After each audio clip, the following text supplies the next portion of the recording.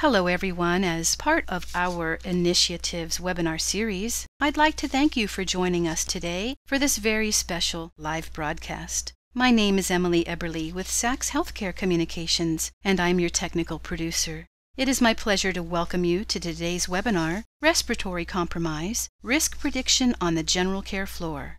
And now I'd like to introduce you to Dr. Carla Jungquist, who is our moderator today. Carla is Associate Professor at the University at Buffalo School of Nursing and is a nurse practitioner at the Thompson Health Sleep Disorders Center. Her research interests are in the interaction of opioids, pain, and sleep disordered breathing. At the Thompson Health Sleep Disorder Center, she has over 10 years of experience in diagnosing and treating patients with sleep disorders. She currently serves on the American Society for Pain Management Nursing Expert Consensus Panel and is the lead writer for clinical practice guidelines for monitoring patients at risk of opioid induced respiratory depression. Carla, welcome, and I'm so glad to be working with you for this special session and we thank you for all of your support in moderating this important webinar for so many people today. Are you ready to get started? Thank you, Emily, for that kind introduction. And thank you for, uh, for everyone for joining the webinar on respiratory compromise, risk prediction on the general care floor. Uh, speaking on this topic are two leading experts and colleagues of mine, Dr. Frank Overdyk and Dr. Ashish Khanna. Dr. Overdyk is a professor of anesthesiology in Charleston, South Carolina. His area of expertise is in opioid pharmacology and respiratory depression. He has lectured extensively on this topic and as on patient safety indices, and his passion is to reduce preventable harm from late detection of respiratory compromise of all etiologies uh, through continuous monitoring of vital signs. Dr. Khanna is Associate Professor of Anesthesiology at the Wake Forest School of Medicine and an anesthesiologist intensivist at the Wake Forest Baptist Medical Center in Winston-Salem, North Carolina. He serves on several editorial boards, including the Journal of Critical Care and Annals of Intensive Care Dr. Khanna has published extensively in peer-reviewed journals on several perioperative topics, including opioid-related uh, respiratory complications and the prediction of and monitoring for cardiorespiratory complications within the uh, and uh, within inside and outside of the ICU. Uh, Dr. Overdyk and Dr. Khanna uh, would like to disclose that uh, they are on the steering committee of the Prodigy clinical trial uh, that was supported by Medtronic. Both of them are also consultants uh, for Medtronic. This educational program was provided in part by an unrestricted educational grant provided by Medtronic. To obtain CME, CNE, CRCE credits will be available at the conclusion of the webinar. Uh, this uh, is, uh, they will provide education, continuing education for physicians, and this is the accreditation statement. Uh, continuing education for nurses, nurse anesthetist, and respiratory therapist is also provided, and this is their accreditation statement. I'd like to turn the uh, presentation now over to our two speakers. Uh, Dr. Overdyk, are you ready? Yes, Carla. Uh, thank you, and good afternoon, everybody, and good morning to the folks on the West Coast. Let's start by reviewing the objectives uh, of my section here. We're going to discuss the incidence and adverse outcomes associated with respiratory compromise on the general care floor, and then the role of continuous monitoring in the detection and prevention of respiratory compromise, with some examples of the technologies that we can currently use to do so. So this is the definition of respiratory compromise that the Respiratory Compromise Institute created and in my opinion is the most accurate and helpful. Respiratory compromise describes a deterioration in respiratory function in which there is a high likelihood of decompensation into respiratory failure or death. So that speaks to the seriousness of this event, but for which timely specific interventions might prevent or mitigate decompensation. So this speaks to the preventability of these events.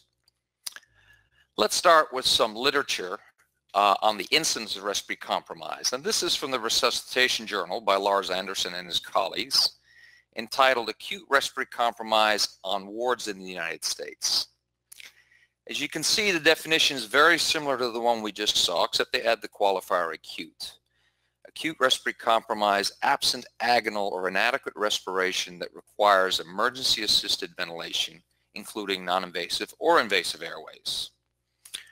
The data analyzed here was from Get With The Guidelines Registry, which is what all you know, uh, probably know is the AHA's Registry of Cardiopulmonary Arrests. It now has specific data on respiratory arrests as well. So we can prime those out from the full cardiopulmonary arrests. But what you can see from these data is that we they estimate we have over 44,000 cases of acute respiratory compromise on the ward per year and you can see that the mortality is extremely high at 40%.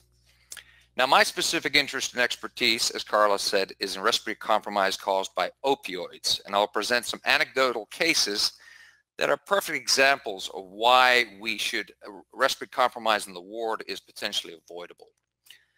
This is Brian.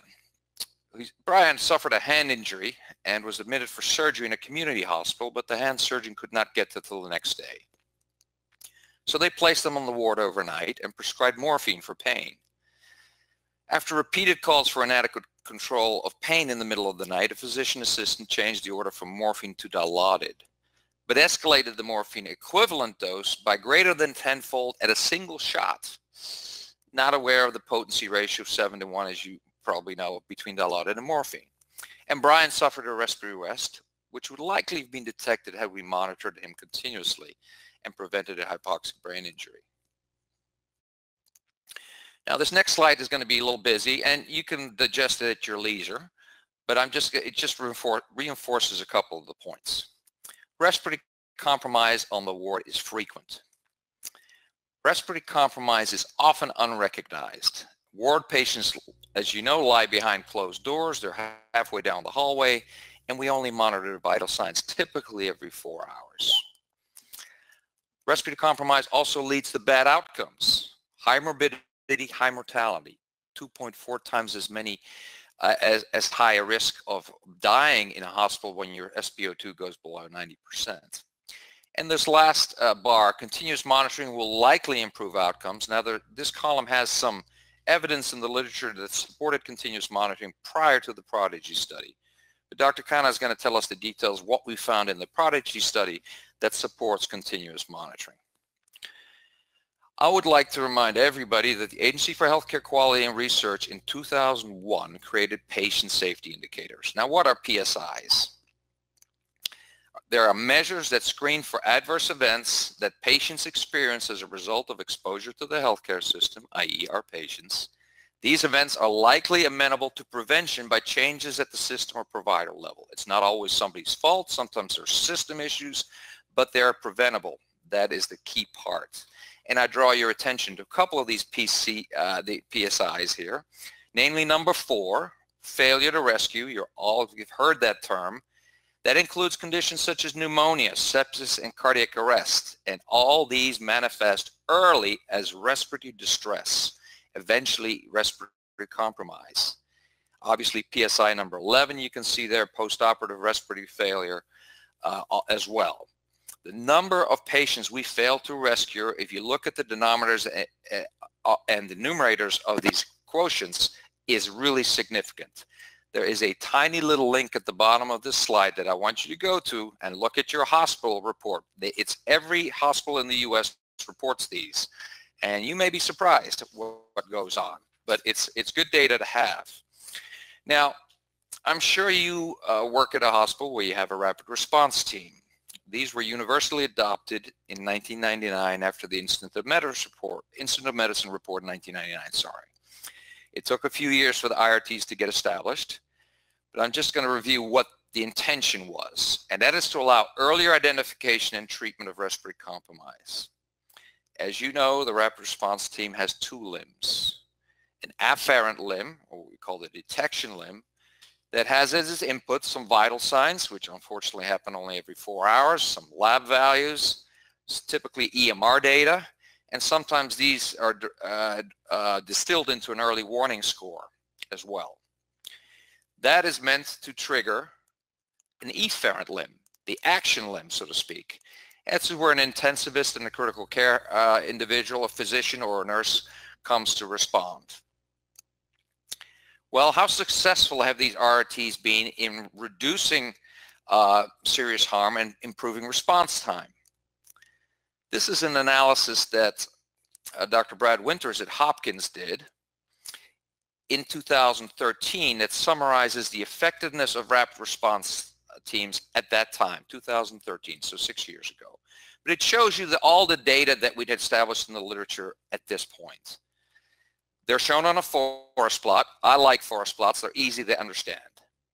Basically, the study shows no improvements in death before and after an RRT deployment. The risk ratio will be 1, or is that dotted line down the middle.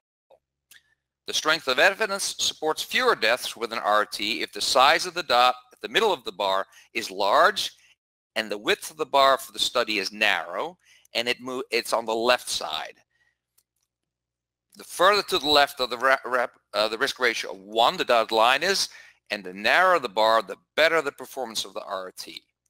And so a study whose bar spans across the dotted line is not convincing. That means possibly there's no advantages of the RRT. So what you see from this chart is that uh, the studies for the RRTs at that point had shown some reduced death rates, but not dramatically, since a number of these lines are very wide and they span across the middle.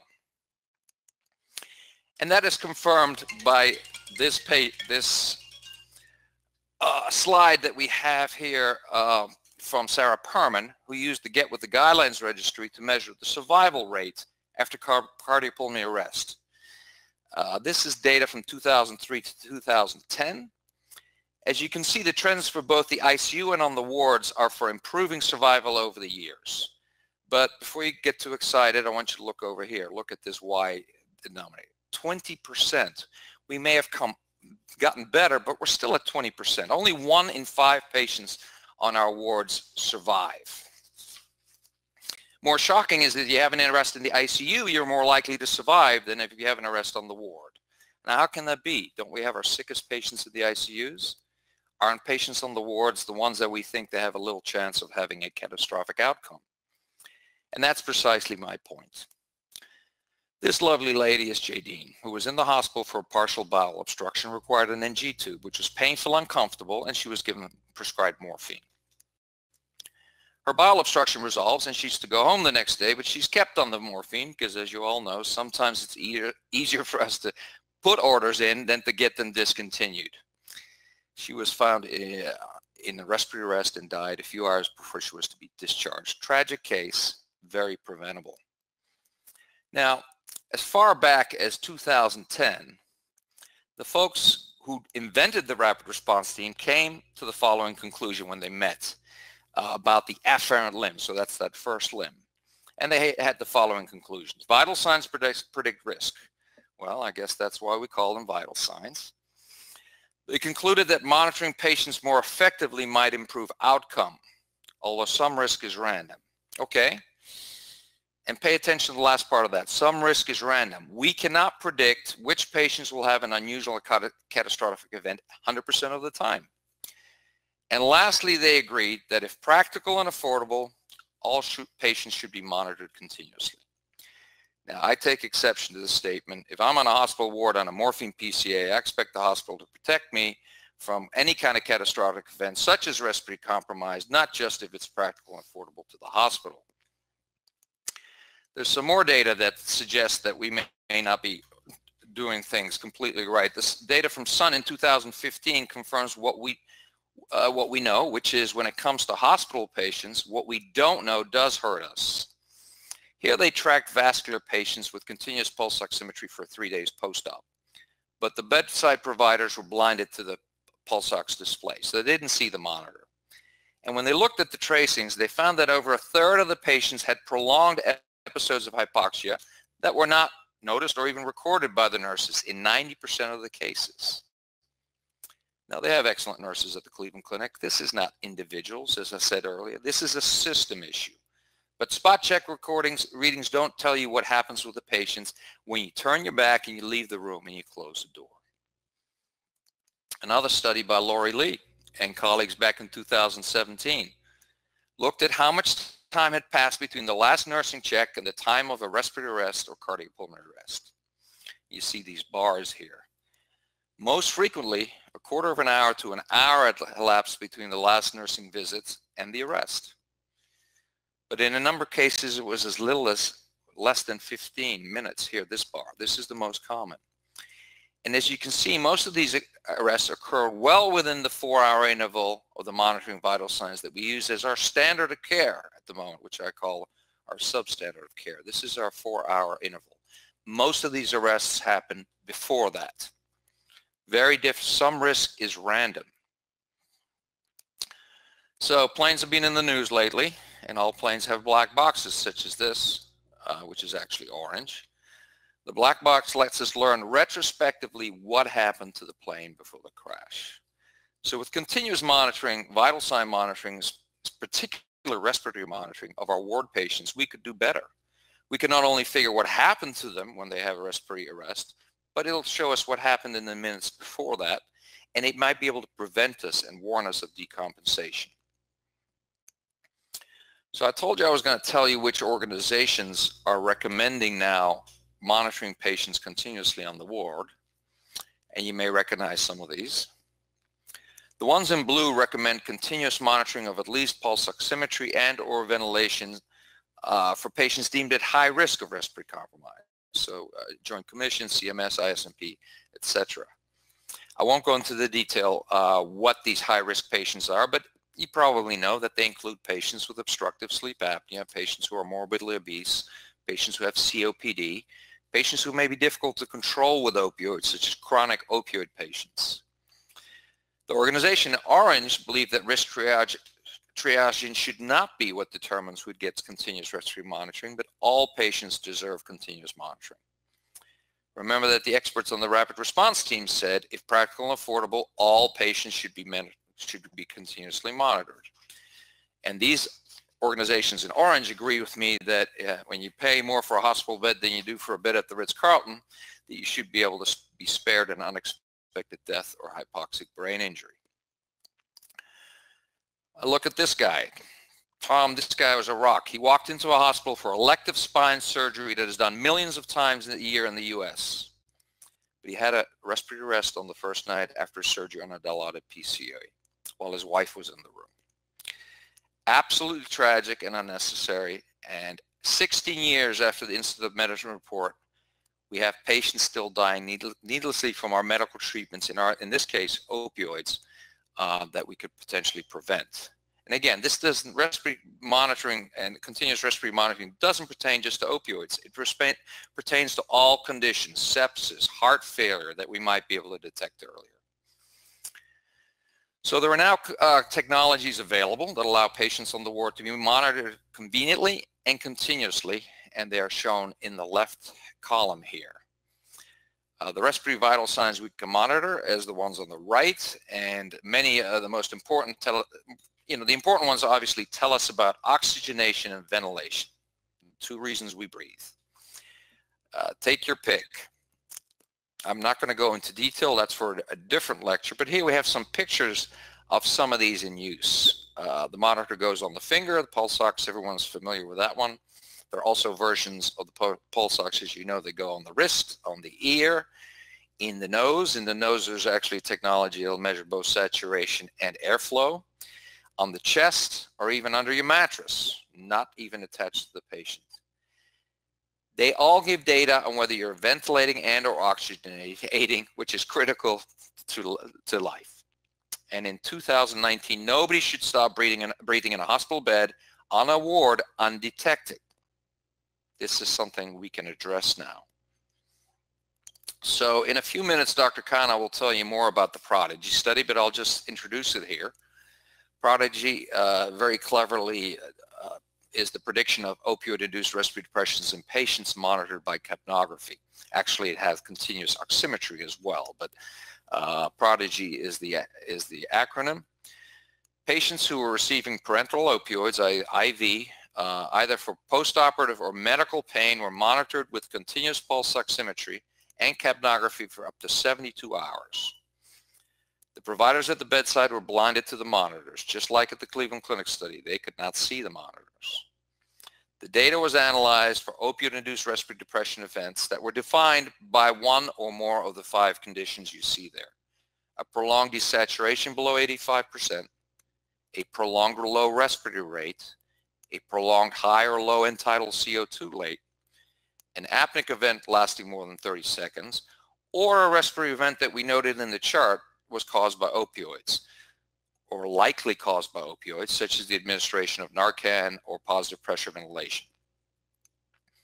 The monitoring data was then corroborated with the clinical bedside data from the chart by a panel of four experts, our clinical evaluation committee, to make sure the monitor artifact was not misinterpreted. One of the reasons it's set for greater than three minutes is to uh, reduce the amount of artifact that potentially could be introduced. But so there was a really stringent, the bar was set really high for counting these episodes of respiratory compromised.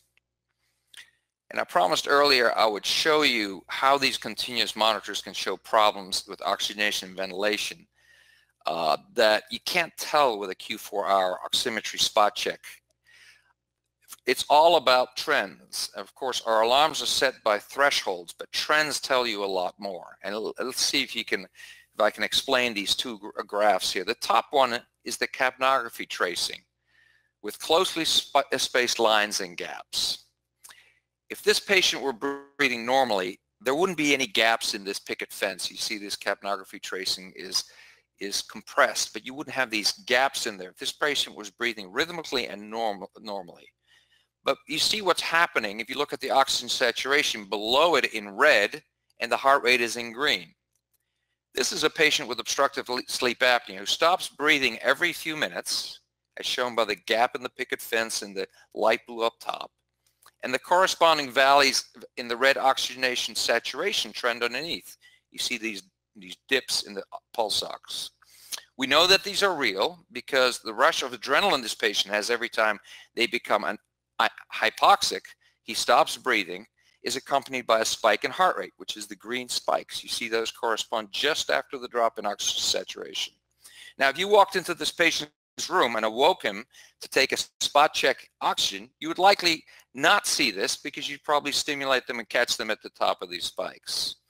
So this is a great example how with continuous monitoring we can actually see people who get in trouble by looking at trends and patterns, not just simple thresholds. Here we see the same pattern and we see this pattern, but this patient actually does get into trouble and required Narcan at that purple dotted line to reverse respiratory compromise. And you can see that he, uh, he or she was doing the same thing. You have, again, the gaps in the picket fence and then you see around 1006, you see that you start to get these big dips in the saturation with the corresponding speaks, uh, spikes in the heart rate. And fortunately for this patient, uh, somebody walked by the room, was in the room, and the patient was able to be resuscitated, um, which is unfortunately what we don't have with a number of other patients. And I'm going to finish up before I go to Dr. Khanna with our last uh, patient, who, story of Kim. Kim was overweight and she had severe sleep apnea. She was CPAP dependent and loved her CPAP machine, and she was told to bring it to the hospital, and she dutifully did so, as instructed, for use uh, after her orthopedic procedure. She received a variety of opioid drugs by different routes for the first six, 36 hours post-op but unfortunately she was found tragically in respiratory arrest with her CPAP mask under her bed. Apparently nobody, nobody noticed or concerned that the mask was not on in the setting of giving her opioids. Again, tragic and preventable. Uh, I'm going to turn the mic over now to Dr. Khanna. Uh, are you uh, ready, Ashish? Yes, Frank, and uh, thank you, and um, hello, everyone. Uh, good morning, good afternoon, and good evening, wherever across the world you're tuned into this. It's been a very exciting first half of this webinar, and I hope to continue the excitement uh, moving forward as I speak to you all about the derivation and validation of a novel opioid-induced respiratory depression risk prediction tool. In so many words, I am going to be speaking to you all about the uh, mechanism of conduct, the execution, the orchestration, and the results of the Prodigy trial, and what those results really uh, mean to us and what, what those results will mean to the clinical community. Just going over our learning objectives for my, my part of this webinar today. Uh, firstly, like I just said, I will discuss the organization and design of a, a continuous respiratory monitoring trial, in this case the Prodigy trial. And I'll also discuss the implications of the risk score, the Prodigy risk score that was developed from the Prodigy trial and how it impacts us as clinicians and healthcare providers in the prediction of respiratory compromise on the general care floor. So as a start, I want to just highlight four major points as ground rules for the situation that we're facing today.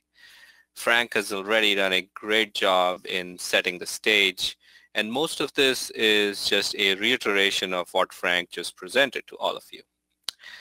So the general care floors, we call them hospital wards, inpatient wards, general floors, nursing units, whatever, whatever uh, the terminology, the appropriate terminology may be in your particular hospital setting.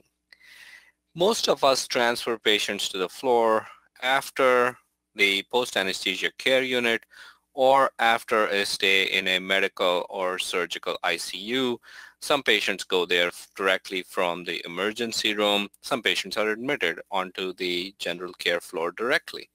Now the thought is that most patients are on a trajectory of recovery when they're going to the general care floor, that they have um, gone past their initial medical or surgical insult, and that the general care floor is really a transition to them going home.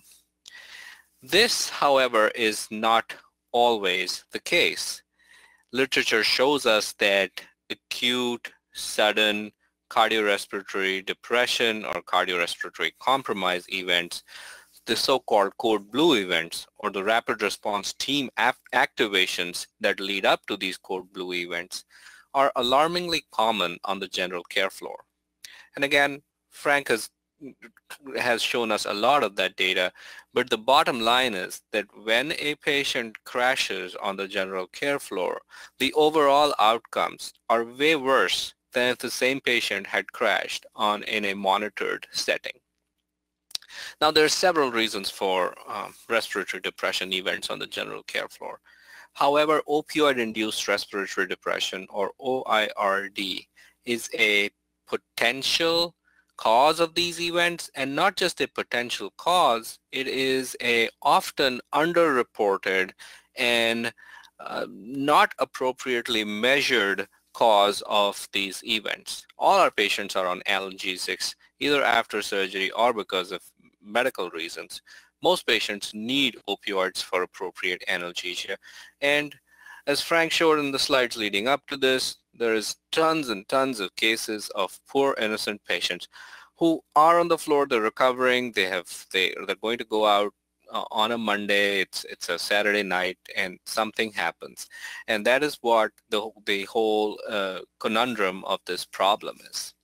Now, if I translate this into some real numbers, literature has said that an OIRD usually would increase hospital length of stay by about five days, would lead to higher readmission rates into hospitals, and also approximately increase healthcare costs by about a mean of $10,000. Certainly numbers that we cannot afford to ignore. Now, what does uh, what is the real situation on the general care floor in terms of how we're sur doing surveillance for our patients? The important point is monitoring. So it looks like these events are really common and we can't really predict from them to our best knowledge as of today. So if we can't really do that, we need to monitor our patients more aggressively.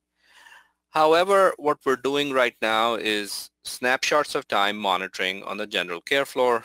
Every four to six hours, there is a healthcare provider that goes to a patient's room or patient's bedside on the patient's vital signs and the patient's well-being.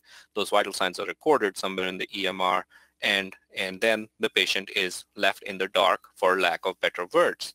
Now, data uh, from the Cleveland Clinic Outcomes Research Group that did continuous hypoxemia monitoring on patients showed that up to 90% of episodes of prolonged hypoxemia defined as oxygen saturations less than 90% for at least an hour of monitoring time were missed. So nearly all of the patients in that cohort analyses had episodes of hypoxemia that were significant and prolonged that were consistently missed using snapshots in time monitoring. Knowing all of this information, we set off on the Prodigy trial.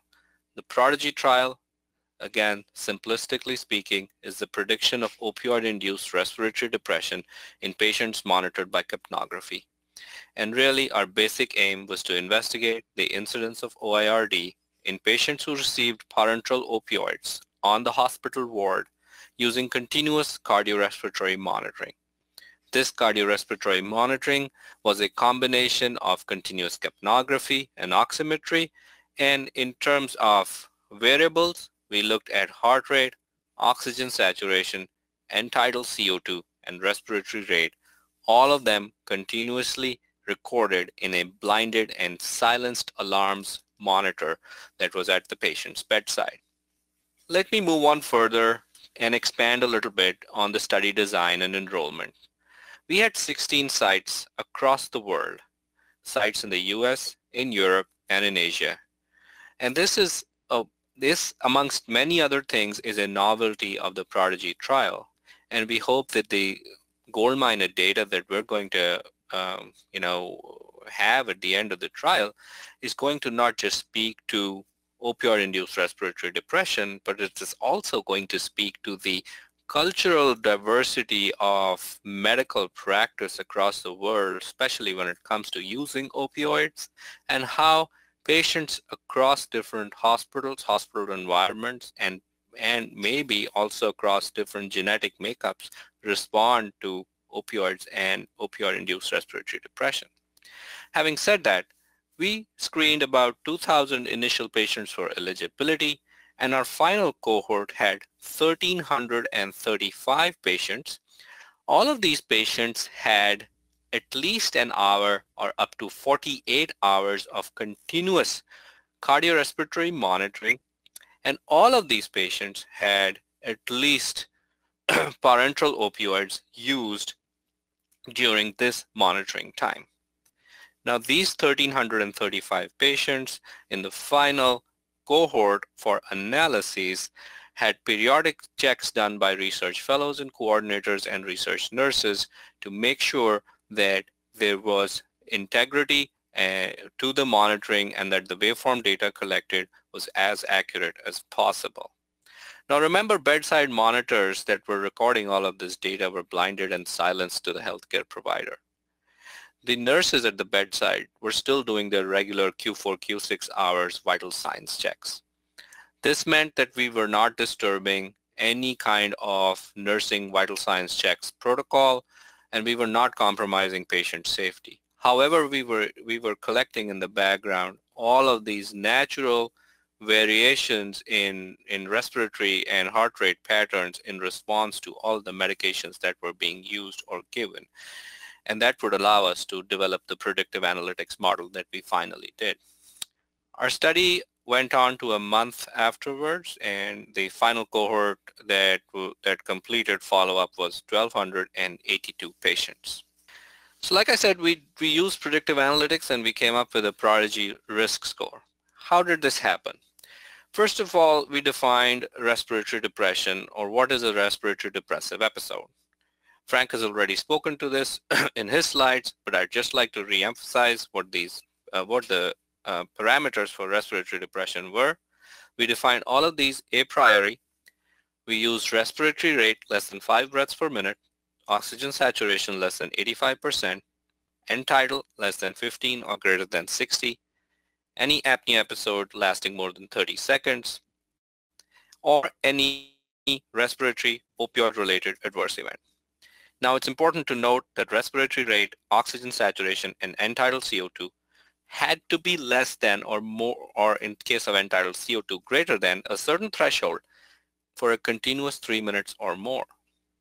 These thresholds were, were specifically made um, slightly more aggressive, so to speak, so as to eliminate all sorts of false positives. Now remember again that any respiratory ORADE, as, as I've mentioned here, was also predefined in the study protocol that we have published separately in the Journal of Critical Care. Once all of once all the monitoring data was collected at the bedside in a blinded and silenced fashion, it was sent to a group of three experts in perioperative sleep and respiratory medicine. These experts were not investigators on the trial.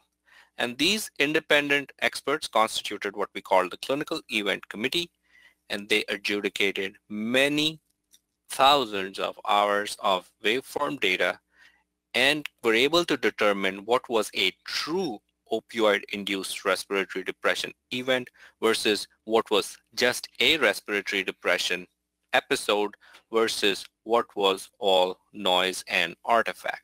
This, amongst others, is another big novelty of Prodigy. No study to date has recorded all this waveform data and has independently adjudicated that data to make sure that it is clean and validated.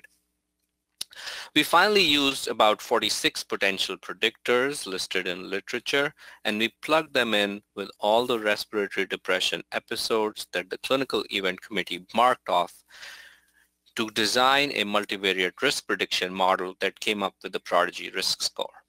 Going on further, this is the overall outlay of demographics for Prodigy. A very busy slide, I apologize. However, just knowing all of the data points and the across three continents nature of Prodigy, there is a lot of data here to look through. There's some stories here that are worth mention and some of them that are pretty evident knowing our clinical practice. Patients in the United States were on the heavier side with, a higher BMI. They had a higher neck circumference in general and consequently higher stop bang scores. Further, patients in the US had more of a ASA 3 and 4 categorization than Europe and Asia, which meant sicker patients in general and then going on down here, the opioid naivety situation, as expected in the US, only about 70% patients were opioid naive, whereas almost all patients in Asia were opioid naive. Further, about a third of the patients in, in, in the US were on at least four or more opioids at any one given time. Some of this is not unexpected but again, as I said before, this is a rich data set that really helped us se separate, separate and segregate how, how patients do and behave in terms of opioid, opioid-related respiratory depression in response to opioids. The univariate prediction model had a number of predictors that predicted that were seen more commonly in patients with one or more respiratory depression episodes. They ranged from increasing age, male sex, BMI, a number of cardiac disorders, metabolic disorders, renal and urinary disorders, a number of prominent respiratory disorders, and the number of opioids used. However, after final adjustment in a multivariate uh, risk prediction model, this is what our Prodigy risk score looks like. We have five easy to use variables the first one is age. Age greater than 60 in increments of every decade was the strongest predictor of, of a OIRD or a respiratory depressive episode as defined by Prodigy. male sex, chronic heart failure, opioid naivety, and sleep disorder, breathing or general sleep disorders in terms of risks on a stop bang score. All of this constituted the Prodigy risk score distribution. If you look to the extreme right-hand side on your slides here, every score was given a clinical weightage or a point, and the scores added up. So the maximum Prodigy risk score is a score of 39 and the minimum is 0. Looking down below, you can see that there's three risk categories that we created.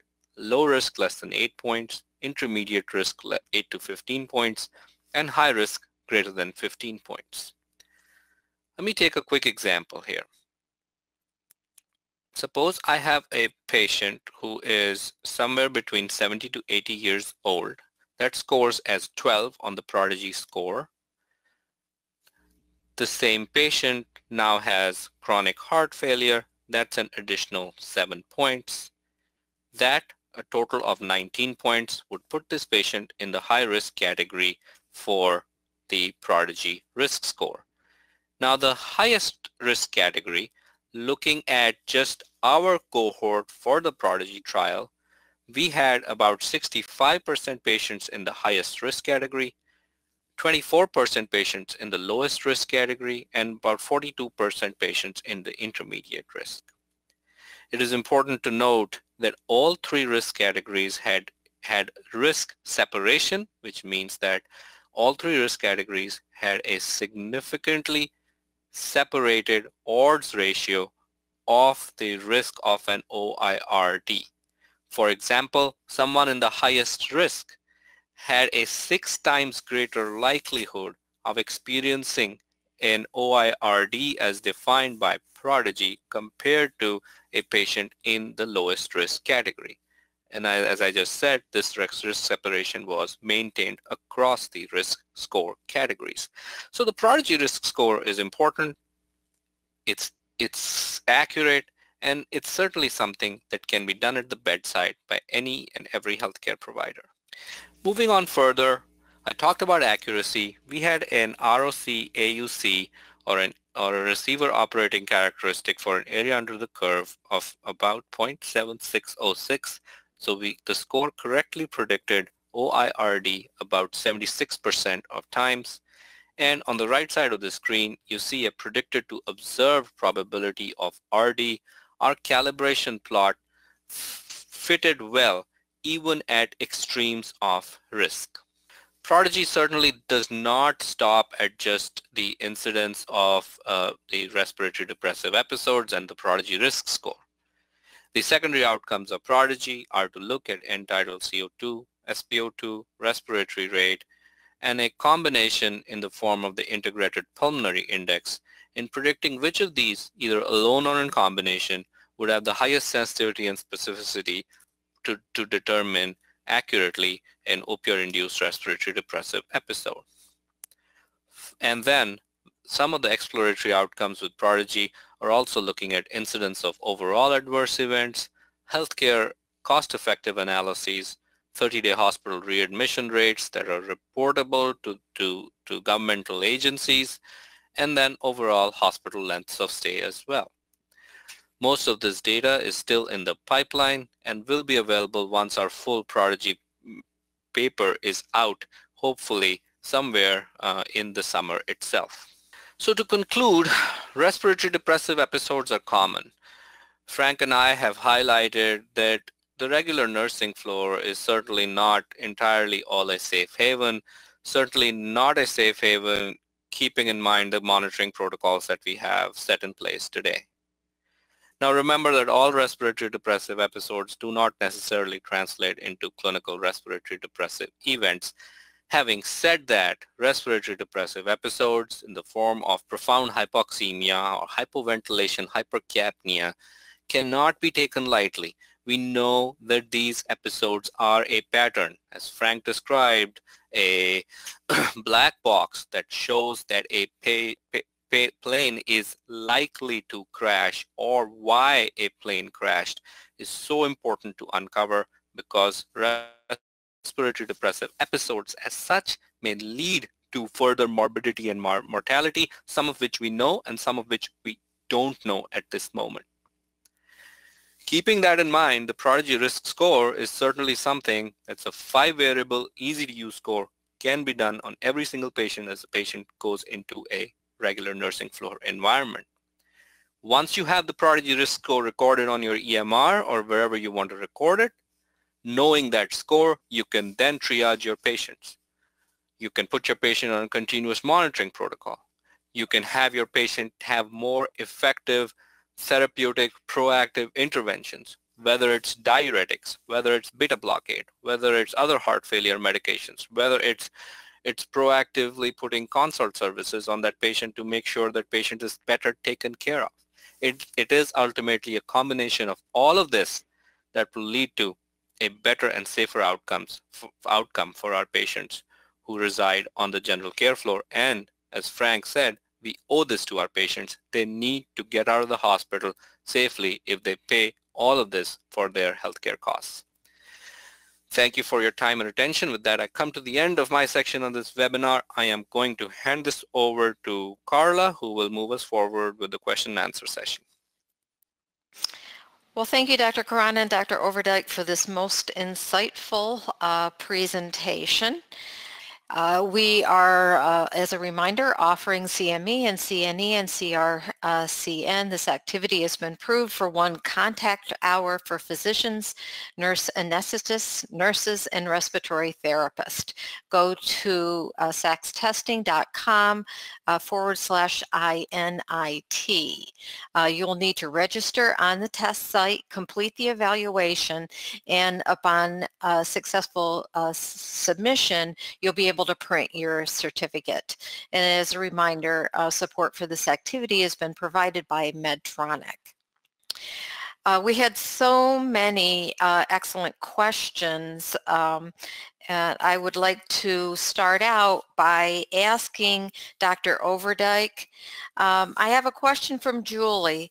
Uh, why uh, are, are patients being monitored with O2 and, and not end-tidal CO2? Uh, good question, Julie. So end-tidal CO2 is a slightly more complex uh, technology to implement at the bedside. Obviously, there's a nasal cannula that needs to be correctly positioned. The pulse ox is ergonomically a little easier. You put it on the finger. And uh, so patients who are on the ward, typically when they're moving around, eating, talking to their families, it's easier to do that with uh, pulse oximetry. Um, capnography, however, helps us with interpreting those ventilation patterns that I showed you and is extremely helpful. Now, there are several institutions that have started with continuous ox oximetry and decided to abandon it and go straight to only a capnography. But that's, and they found that most useful for a number of reasons, which uh, we, I, I, can let you know uh, offline. But so every, every institution finds the type of monitoring that fits their, their needs. Uh, thank you. Um, uh, Dr. Khanna, um, uh, I think a quick question for you to answer is during the Prodigy study, how was opioid na uh, naivete defined? Thanks, Carla. It's a good question. Um, very uh, simplistically speaking, we looked at the EMR and if on the EMR the patient had no record of uh, opioid use in the past as recorded on the EMR and in the history provided by the patient, we documented that, that patient as opioid naive. I do agree that it would not be a 100% fail safe, but uh, this was, uh, you know, in keeping with the trial, this was the best that could have been done. Uh, thank you. Dr. Overdyk, um, can you suggest how, uh, this is Jeremy's question, how do I get my administration to support continuous monitoring when the initial cost is significant? So Jeremy, the, the cost of continuous monitoring has come down. There's different pricing models that places uh, have and use, and uh, it's, it's a different paradigm now than it was 15, 20 years ago. But one way you can uh, the healthcare environment has become very competitive and I referred you to that link as to what your outcomes for failure to rescue are at your institution. Now, if you're in the top 5 or 10%, maybe you can argue, the, the C-suite might argue, but that's not important. But again, we have a responsibility to take care of all our patients, not most of our patients. And I think we, in this age, in 2019, using technology where we can actually prevent and uh, to reduce preventable harm is extremely important. And with your get with with your uh, failure to rescue data, your code team, your code blue data, you can make a case for continuous monitoring for many, many of your patients. Um, thank you. And sort of an add-on to that, Amy is asking, should all patients on opioids be continuously monitored? And what would the length of treatment? Do they have to be monitored ongoing?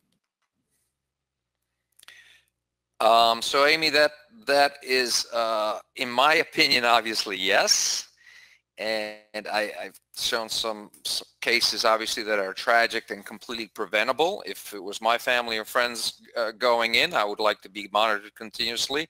I don't trust spot checks, and um, typically it should be done for the duration of you receiving parental opioids. But now we have much shorter hospital stays, so people get transitioned to PO opioids, and if you're taking opioids by mouth, there is some risk, but it's considerably less it's and remember there are we we are not fail safe we make mistakes in in, healthcare and a lot of these cases relate to mistakes or with education or with training or with uh, knowledge about opioids. So so the answer to your question is yes and uh, probably so long as parental opioids are, are being used. Uh, thank you. Uh, Dr. Khanna uh, Ted is asking, how would you suggest employing the Prodigy findings into practice?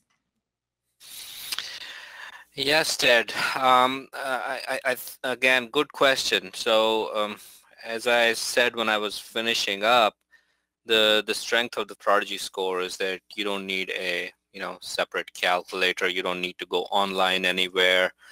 These are things when you first admit your patient on the floor, you can look at the chart and essentially determine all of the five variables. Uh, once you've done that, you document that on admission.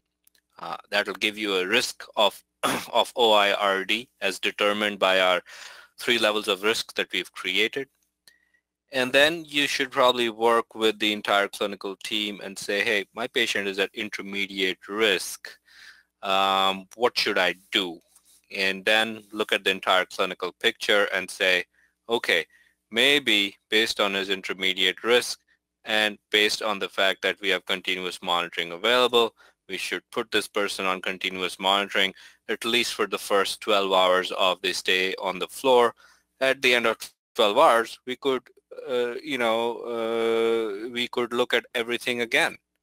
Now the Prodigy score is certainly a static score. It's not going to change at the end of 12 hours, but what could change is your patient's clinical picture.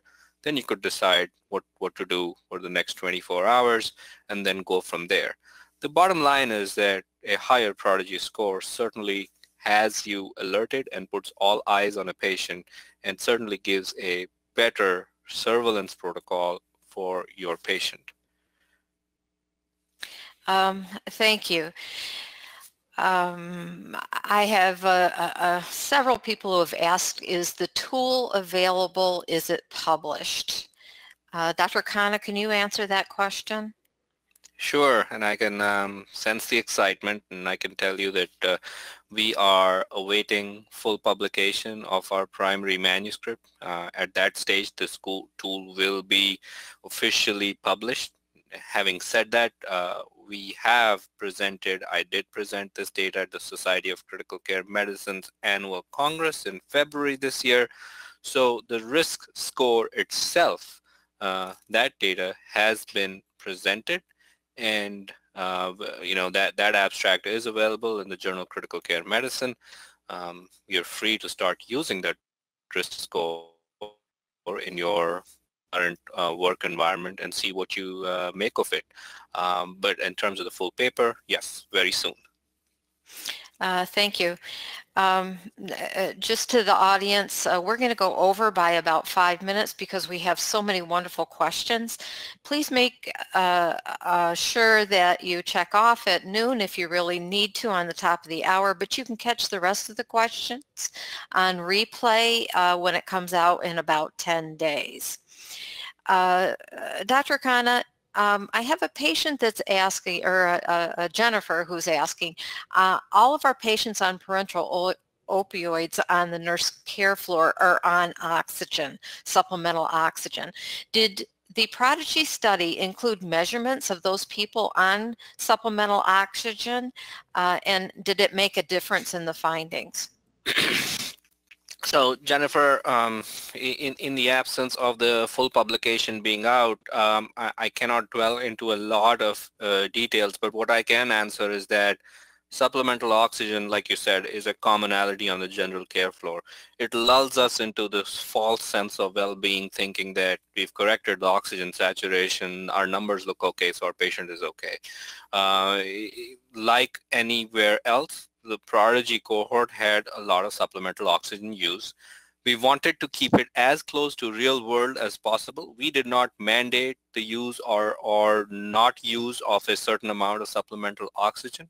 Yes, the data in the end had a lot of supplemental oxygen mixed in, but to, to, to kind of expand further, that is the reason why the ventilatory categories of the of the continuous monitoring data would be really really really useful and you know when you read the full paper you will understand why I'm saying this uh, and and how important they would be in in designing a score like this.